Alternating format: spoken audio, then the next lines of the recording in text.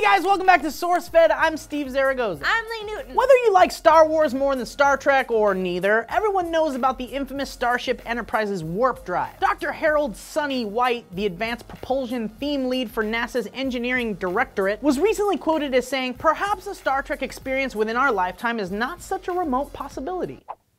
Yes, it's true. Dr. White and his team of geniuses don't just kind of believe a real warp drive is theoretically possible. They've already started making one. Next up, Real Enterprise. I want in. Pick me, pick me. Not, no, not yet, Lee. They've just started. Give them time. If they build it, we will come. Okay. Okay. With the current propulsion technology, interstellar flight isn't possible. Even with all this experimental tech like ion thrusters and spaceships that fart out nuclear explosions, the amount of fuel it would take to actually get to any nearby star alone is insane. And not only that, it would take decades, maybe even centuries to get there. Ain't nobody got time for that. Ain't nobody got time for that. Okay, so what's to be done about all that? Well, we'd have to develop the technology to travel really, really fast without breaking the laws of physics. Or like Dr. White said, we'd want to go really fast while observing the 11th commandment Thou shalt not exceed the speed of light. I like this guy. He's funny. He's smart. He likes Star Trek. He's probably wealthy. He's a doctor.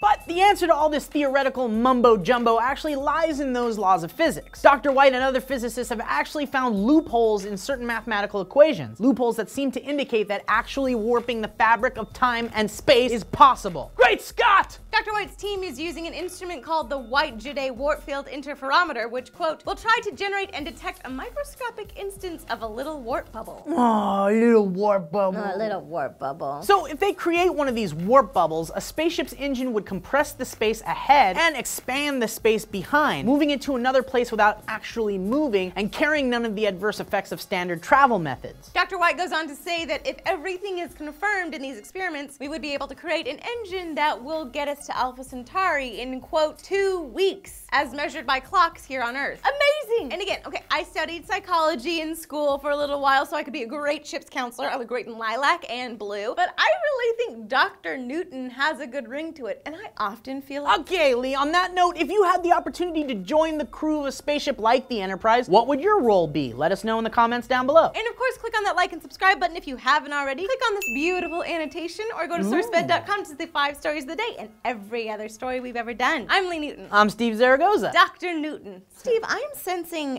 hesitance or irritation. I definitely have to poop.